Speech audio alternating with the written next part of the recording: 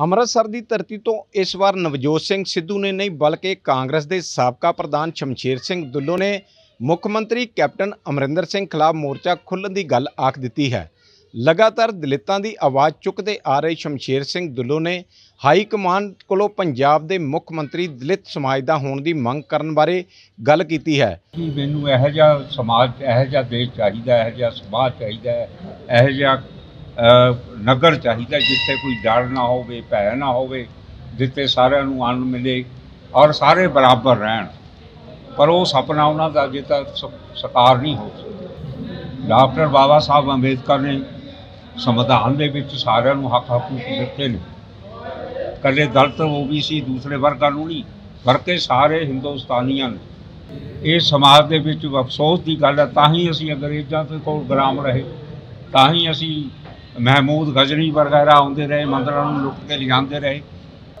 27 ਗੁਰਦੁਆਰੇ ਨੇ, ਜਿਨ੍ਹਾਂ ਗੁਰਦੁਆਰਿਆਂ ਦੇ ਵਿੱਚ ਸਾਡੇ ਸਮਾਜ ਦੇ ਲੋਕਾਂ ਨੂੰ ਉੱਥੇ ਲਿਖਿਆ ਹੋਇਆ ਬਾਹਰ, ਵੀ ਇਸ ਗੁਰਦੁਆਰੇ 'ਚ ਦਲਤਾਂ ਨੂੰ ਅੰਦਰ ਮੱਥਾ ਟੇਕਣ ਦੀ ਇਜਾਜ਼ਤ ਨਹੀਂ ਨਾ ਉਹਨਾਂ ਨੂੰ ਵਰਤਣ। ਇਸੇ ਤਰ੍ਹਾਂ ਇਸ ਹਿੰਦੁਸਤਾਨ ਤੇ ਮੰਦਰਾਂ ਦੇ ਵਿੱਚ ਮੰਦਰਾਂ ਦੇ ਵਿੱਚ ਵੀ ਮਨਾਹੀ ਹੈ। ਆਜ਼ਾਦੀ ਉਹ ਹੁੰਦੀ ਹੈ ਮੁਲਕ ਆਜ਼ਾਦ ਜ਼ਰੂਰ ਹੈ, ਪਰ ਸਾਡੇ ਸਮਾਜ ਦੇ ਲੋਕ ਅਜੇ ਆਜ਼ਾਦ ਨਹੀਂ ਹੋਏ ਇਸ ਦੇਸ਼ ਦੇ।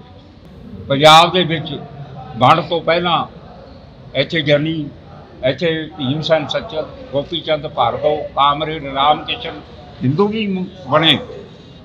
ਪਰ ਪੰਜਾਬੀ ਸੂਬੇ ਤੋਂ ਬਾਅਦ ਬਣੇ ਔਰ 64 ਤੋਂ ਬਾਅਦ ਇੱਕ ਗਿਆਨੀ ਜੀ ਨੂੰ ਮੌਕਾ ਮਿਲਿਆ ਜਿਹੜਾ ਰਾਮਗੜੀਆ ਬੈਕਵਰਡ ਕਲਾਸ ਉਹ ਜਦੋਂ ਬਣੇ ਉਹਨਾਂ ਨੂੰ ਗਰੀਬਾਂ ਨੂੰ ਰਾਹਤ ਮਿਲੀ।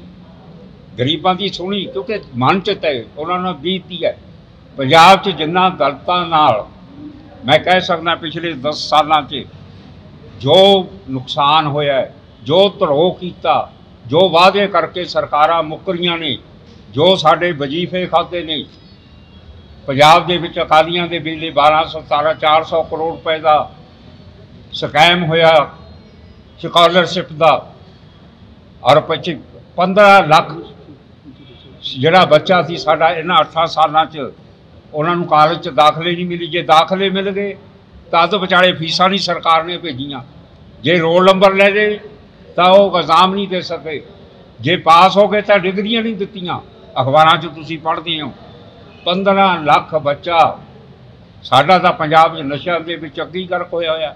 70% ਲੋਕ ਨਸ਼ਾ ਕਰਦੇ ਨੇ। ਸਰਕਾਰਾਂ ਕਹਿੰਦੀ ਅਸੀਂ ਨਸ਼ਾ ਖਤਮ ਕਰ ਦਾਂਗੇ, ਬੇਰੋਜ਼ਗਾਰੀ ਖਤਮ ਕਰ ਦਾਂਗੇ। ਅਸੀਂ ਇਹ ਸ਼ਡਿਊਲ ਕਾਸਟਾਂ ਨੂੰ ਬੈਕਵਰਡ ਕਲਾਸਿਸ ਨੂੰ, ਹੋਰ ਲੋਕਾਂ ਨੂੰ ਅਸੀਂ ਸਹੂਲਤਾਂ ਦੇਵਾਂਗੇ, ਪਰ ਕਿਤੇ ਨਹੀਂ, ਕਾਗਜ਼ਾਂ 'ਚ ਨਹੀਂ। ਔਰ ਪੰਜਾਬ ਦੇ ਵਿੱਚ ਪਿਛਲੇ ਸਾਲ ਮੇਜਰ ਸਿੰਘ, ਜਿਹੜਾ ਅਜੀਤ ਦਾ ਇੱਕ ਲਿਖਾ ਜਰਨਲਿਸਟ ਸੀ, ਉਹਨੇ ਪੰਜਾਬ ਦੇ ਦਲਿਤਾਂ ਦੀ ਹਿਸਟਰੀ ਲਿਖੀ ਕਿ ਪੰਜਾਬ 'ਚ ਹਰ ਸਾਲ ਦੇ ਵਿੱਚ ਸਵਾ ਸੌ ਜਿਹੜਾ ਬੱਚਾ ਹੈ, ਉਹਨੂੰ ਐਡਮਿਸ਼ਨ ਤੋਂ, ਵਿੱਦਿਆ ਤੋਂ ਵਾਂਝੇ ਰਹਿ ਗਿਆ। ਔਰ ਮੈਨੂੰ ਇਹ ਵੀ ਅਫਸੋਸ ਹੈ ਇਹ ਦਲਤ ਮਰੇ ਤੇ ਇੱਕ ਇੱਥੇ ਭੇੜ ਬੱਕਰੀ ਜੀ ਕੋਈ ਐਕਸੀਡੈਂਟ ਨਾ ਮਰ ਜਵੇ ਉਹਦਾ ਵੀ ਪਰਚਾ ਹੁੰਦਾ 304 ਏ ਦਾ। ਕਿਸੇ ਜਗ੍ਹਾ ਅਖਬਾਰਾਂ 'ਚ ਤੁਸੀਂ ਦੇਖਿਆ ਕਿਸੇ ਨੇ ਕੁੱਤੇ ਨੂੰ ਕਾਰ ਥੱਲੇ ਦੇਤਾ ਸੀ ਉਹ ਬੁੜੀਆਂ ਨੇ ਉਹਦੇ ਤੇ ਪਰਚਾ ਕਰਾਇਆ। ਇਹ ਤਾਂ ਬੰਦੇ ਮਰੇ ਨੇ। ਇਹ ਦਲਤਾਂ ਨੂੰ ਇਹ ਅਹ, ਗਧਿਆਂ ਨੂੰ ਵੀ ਵੱਧ ਸਮਝਦੇ ਨੇ ਮਾਫ ਕਰਨਾ। ਬੰਦੇ ਨਹੀਂ ਸਮਝਦੇ। ਔਰ ਮੁੱਖ ਮੁੱਖ ਮੰਤਰੀ ਆਪ ਕਹਿੰਦਾ ਹੈ ਕਿ ਇਹ ਜਿਹੜਾ ਮਰਡਰ ਹੋਇਆ ਜੇ ਮਰਡਰ ਹੋਇਆ ਹੈ ਫਿਰ ਉਹਨਾਂ ਦੇ ਖਿਲਾਫ ਜਿਹੜੇ ਡਿਸਟ੍ਰਿਕਟ ਦੇ ਮਾਲਕ ਹੈ, ਇਹ ਮਾਫੀਆ ਜਿਹੜਾ ਸ਼ਰਾਬ ਮਾਫੀਆ, ਇਹਨਾਂ ਦੇ ਖਿਲਾਫ ਕਿਉਂ ਨਹੀਂ? ਅਸੀਂ, ਮੈਂ ਧਰਨਾ ਵੀ ਦਿੱਤਾ, ਰਾਜ ਸਭਾ ਚ ਕੁਐਸਚਨ ਵੀ ਕੀਤੇ, ਮੁੱਖ ਮੰਤਰੀ ਨੂੰ ਵੀ ਮੈਮੋਰੰਡਮ ਦਿੱਤਾ ਗਵਰਨਰ ਨੂੰ ਵੀ ਦੇ ਕੇ ਆਏ, ਮੈਂ ਤੇ ਪ੍ਰਤਾਪ ਬਾਜਵਾ। ਪਰ ਕੋਈ ਨਹੀਂ, ਪਰ ਸੈਂਟਰ ਦੀ ਅਜੇ ਮੈਂ ਉਹਦੇ ਬਾਅਦ ਦਿੱਲੀ ਵੀ ਮਿਲੂੰਗਾ ਹੋਮ ਮਿਨਿਸਟਰ ਨੂੰ ਪ੍ਰਾਈਮ ਮਿਨਿਸਟਰ ਨੂੰ। ਜੇ ਨਾ ਇਹ ਜਿਹੜੇ ਡਿਸਟਰੀਆਂ ਦੇ ਮਾਲਕਾਂ ਦੇ ਖਿਲਾਫ ਪਰਚੇ ਨਾ ਹੋਏ ਤਾਂ ਮੈਂ ਪੰਜਾਬ ਦੇ ਮੁੱਖ ਮੰਤਰੀ ਦੇ ਘਰ ਦੇ ਮੂਹਰੇ ਧਰਨਾ ਵੀ ਦਊਂਗਾ।